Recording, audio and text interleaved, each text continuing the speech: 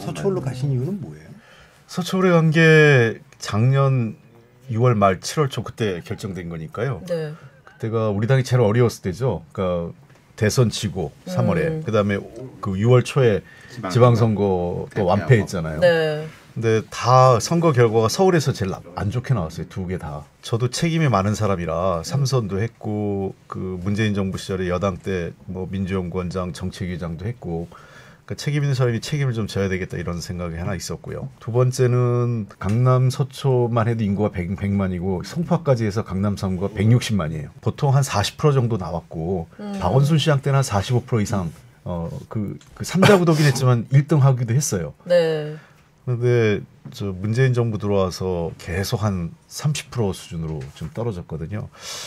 근데 여러 가지 이 얘기가 있더라고요. 뭐 강남 서초를 뭐 민주당은 포기한 것 같다. 음.